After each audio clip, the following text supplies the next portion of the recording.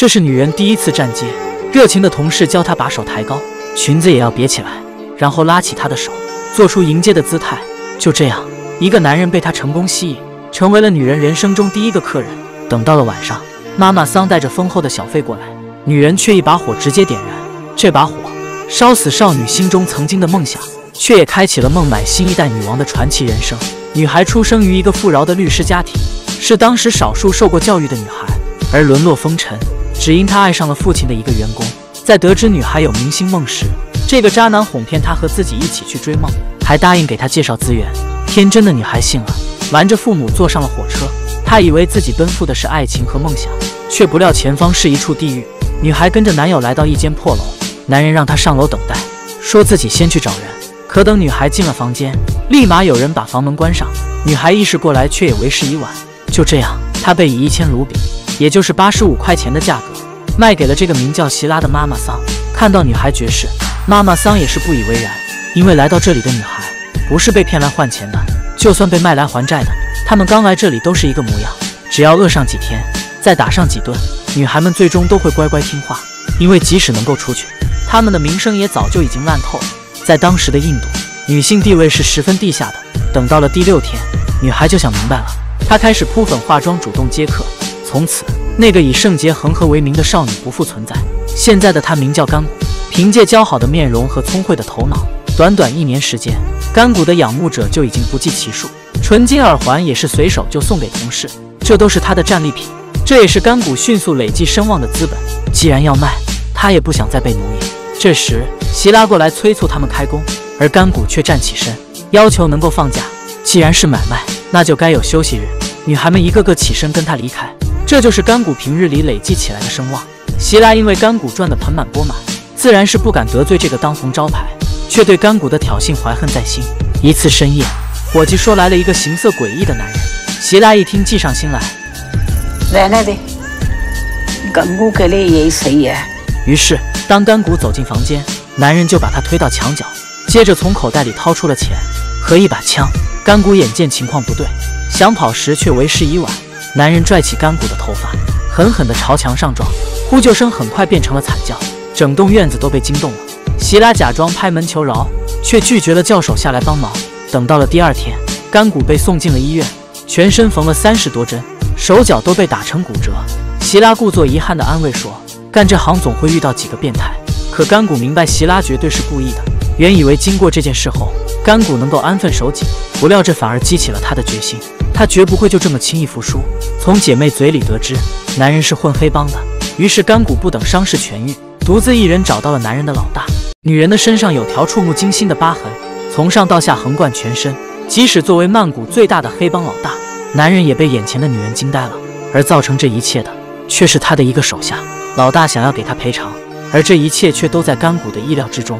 他早就调查清楚，这个大佬非同一般，他会开办接见活动。听普通人去诉苦，而他想要的并不只是钱。老大动容了，当即认下甘谷为义妹，并派人二十四小时保护着他。而甘谷并没有大肆宣扬他们的关系，他在等一个时机。甘谷，嗯，我他哪呀？看着妈妈丧尸块的嘴脸，甘谷打断了姐妹的争辩。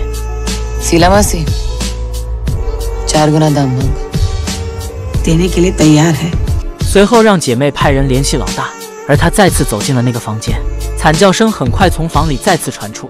席拉满意的躺在床榻上，可还没等他打开音乐，外面已经传来汽车的声音。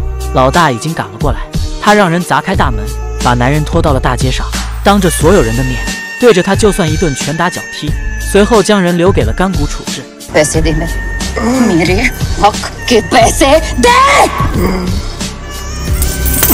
这一战干谷赢得十分漂亮。同时被击垮的还有席拉。不久之后，席拉便离开了，而女人们也找到了甘谷，给他递上了一件洁白的纱帘。这不仅仅是身份的象征，同时也意味着更大的责任。从这天起，甘谷成了这里的新老板娘。十六岁的那晚，少女从甘家变成了甘谷，而二十五岁的今天，她又从甘谷变成了人人敬畏的甘谷拜。她每天穿梭在街头巷尾，妈妈们求她管制新来的女孩，她却会给女孩再次选择的机会，是留下来赚钱。还是抱着再次被卖掉的风险回家，很多女孩都会选择后者，而他也不会再劝他们，反而帮他们赎身。还让人送他们回家。手下让他不要这么浪费钱。对此，他也只是淡然一笑，因为这是他布的局。要想保护这么一群人，甘古拜准备参选下一届的地区长，而他的竞争对手已经连胜了两年。这是为海吉拉斯宗教下诞生的第三性别，也被人们誉为神的使者。就连上街拉票也都像是场祈福。要想击败他，甘古拜必须提高自己的声望。双方你来我往的较量正式开始。拉齐亚举报他的黑帮生意，并且搜查他的窑子，阻止他做生意。而甘古拜也在对方演讲时，请全区的人免费看电影。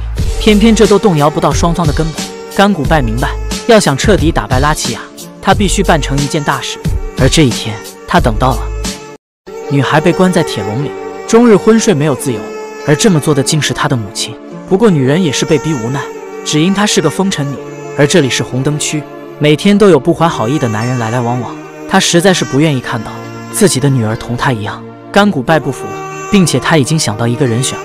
这是一个贫民窟的小裁缝，虽生长在红灯区，人却意外的单纯。只是帮甘古拜量个尺码，都会搞得面红心跳。故事的发展毫无意外，涉世未深的少年郎喜欢上了历经沧桑的妈妈桑，甘古拜的心也逐渐被他治愈。而眼下，他却是他能想到的最佳人选。不只是因为甘古拜了解他的秉性，觉得他是值得托付的。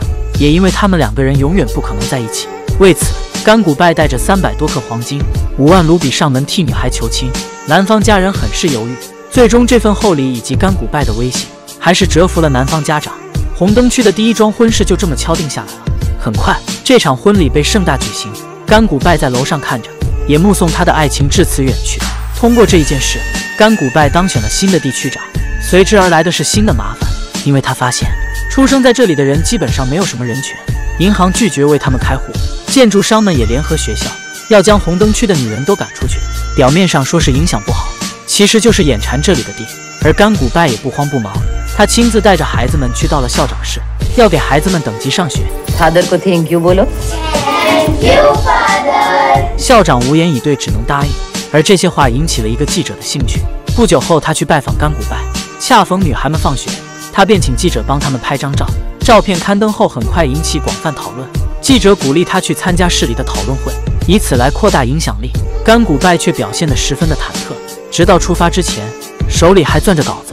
可等真正走上了讲台，他却把稿子直接撕碎了。他还是想将一些真心话。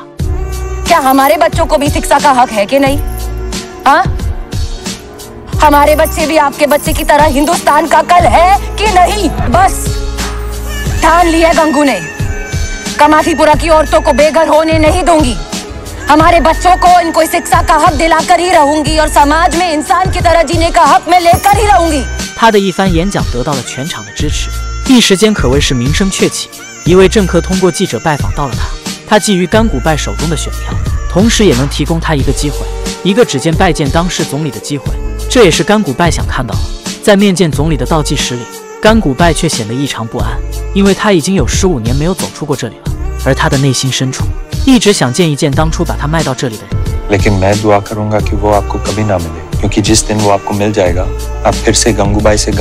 正是这一番话给了甘古拜信念。这天，他如愿见到了总理，他一针见血指出现在既有的问题。这番话深深打动了总理，他答应了甘古拜的请求，使得红灯区合法化。等到甘古拜再次回到红灯区，他成为了人人敬仰的英雄。时至今日，都还有人在供奉着他的照片。电影《甘古拜》卡地亚瓦迪到这里就结束了。或许我们正身处黑暗，又或许前方有着种种不公，但我们只需坚信，眼前的挫折不会是我们人生剧本的终章，一切也都将在黑暗之后迎来曙光。影片到这里就结束了，点赞关注，发家致富。我是汪哥，我们下期再见。